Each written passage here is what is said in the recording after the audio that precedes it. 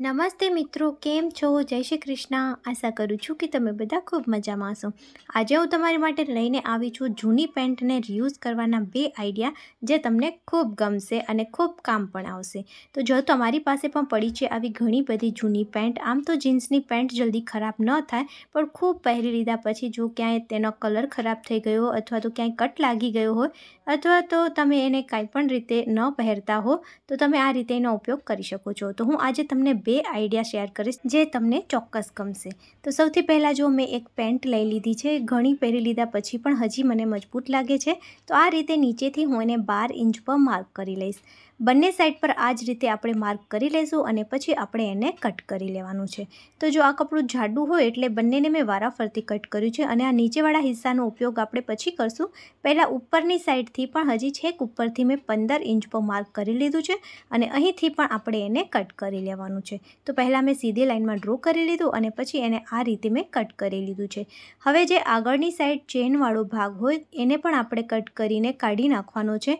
તો અહીંથી જો જે ક્રોસ હોય ને એને મેં કાઢી નાખ્યો છે, આ રીતે સીધું તમારે અહીં કટિંગ કરવાની છે. તો બંને બાજુથી મેં આ રીતે કટ કરી અને એને અલગ કરી નાખ્યું છે. હવે પાછળની સાઈડથી પણ આપણે એને કટ કરવાનું છે, તો આ રીતે મેં એને ફોલ્ડ કરી લીધું છે. હવે સ્કેલની હેલ્પથી તમારે અહીં પહેલાં સીધી માર્કિંગ કરી લેવાની અને પછી અહીંથી કટ કરવાનું છે. તો મેં મેજર ટેપની હેલ્પથી જ સીધું માર્ક કરી લીધું છે અને આ રીતે અહીં હું કટ કરી લઈશ. તો જો આ સીધું થઈ ગયું, હવે બંને બાજુથી આપણે સિલાઈ કરી લઈશું તો આ રીતે એક સીધો રેક્ટેંગલ બે પીસ આપણને મળ્યા અને આપણે આ રીતે એને સીવી લીધા છે. હવે આપણે એના નીચેના ભાગનું મેઝરમેન્ટ લેવાનું છે, તો મારું સત્તર ઇંચ થાય છે. હવે જે બે પીસ વધેલા હતા વચ્ચેથી એ આપણે લેશું અને એને કટ કરીને જે સાઈડનો જાડો ભાગ છે, વાળેલો એ આપણે કાઢી નાખવાનું છે. બંને પીસમાંથી એવી જ રીતના કરશું અને પછી આ બંને પીસને આપણે જોઈન્ટ કરી લેશું. તો એક સ્ક્વેર પીસ જેવું આપણને મળી ગયું છે. હવે એને આપણે બે વખત ફોલ્ડ કરી લેશું અને પછી એના ખૂણાથી આપણે છ ઇંચ પર માર્ક કરવાનું છે. તો જો આ રીતે આપણે રાઉન્ડમાં માર્ક કરતું જવાનું છે છ ઇંચ પર અને પછી ત્યાંથી આપણે એને કટ કરી લેવાનું છે. તો જો આ રીતે મેં કટ કરી લીધું છે, તો એક આવી રીતના ગોળ પીસ આપણને મળી ગયો છે. હવે આ પીસને આપણે અહીં અટેચ કરવાનો છે. જે રેડી પીસ હતો એના એના નીચેના ભાગમાં. તો આ રીતે પહેલાં હું પિન લગાવી દઈશ એટલે આપણને સારી રીતે આઈડિયા આવી જાય કે આ એકદમ વ્યવસ્થિત સેટ થાય છે કે નહીં. તો એ આખામાં મેં પિન લગાવી નથી, માત્ર બે ત્રણ જગ્યાએ પિન લગાવીને જોઈ લીધું. તો એકદમ બરાબર મેઝરમેન્ટ આવતું હતું અને મેં અહીં અટેચ કરી લીધું છે. તો જો અટેચ થઈ ગયો એના પછી મેં એને સીધું કરી લીધું છે અને જે સાઈડમાંથી વધેલું કપડું હતું એનો જ ઉપયોગ કરી એને મેં વાળી લીધું છે અને અહીં હેન્ડલ માટે એને અટેચ કરવાનું છે. તો જો આ રીતે આપણે એને અહીં અટેચ કરશું, તમારી પાસે વધારે કપડું હોય તો તમે સારી રીતે સ્ટ્રીપને ફોલ્ડ કરીને પણ અહીં અટેચ કરી શકો છો. તો તમે જોઈ શકો છો કે બંને બાજુ પર મેં હેન્ડલ અટેચ કરી લીધા છે અને આ એનો બેઝ છે. તો તમે એને કોઈ પણ જગ્યાએ હેંગ કરી શકો છો અને બહુ જ સરસ સારી એવી સાઇઝનો આ આપણું લોન્ડ્રી બેગ બનીને તૈયાર થઈ ગયું છે. તમે તમારા મેલા કપડાને એની અંદર સ્ટોર કરી શકો છો, જેથી તમારું ઘર પણ નીટ એન્ડ ક્લીન રહેશે અને મેલા કપડાં માટે એક પ્રોપર જગ્યા નક્કી થઈ જશે. એના સિવાય તમે તમારા બાળકોના રમકડાને રાખવા માટે પણ આ બેગનો ઉપયોગ કરી શકો છો, જેથી તમારા બાળકોના રમકડા આમથી તેમ રજડશે નહીં અને વ્યવસ્થિત તમે એને રાખી શકો છો.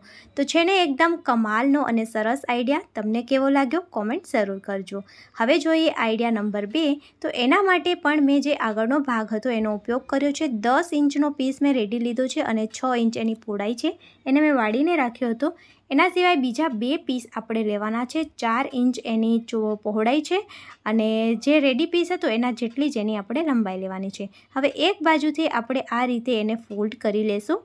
તો આ રીતે જો મેં એને ફોલ્ડ કરી લીધો છે, એના પછી એને આપણે આ રીતે સેટ કરવાના છે. રેડી પીસમાં વચ્ચેથી આપણે બંને સાઈડથી એક એક ઇંચ એટલે કે ટોટલ બે ઇંચ જગ્યા છોડી અને આ રીતે એને ત્રણ બાજુ સિલાઈ કરીને અટેચ કરી લઈશું ફોલ્ડેડ ભાગને આપણે ઉપરની તરફ રાખવાનો અને પછી વચમાં પણ આપણે આ રીતે સિલાઈ કરી લેવાની છે.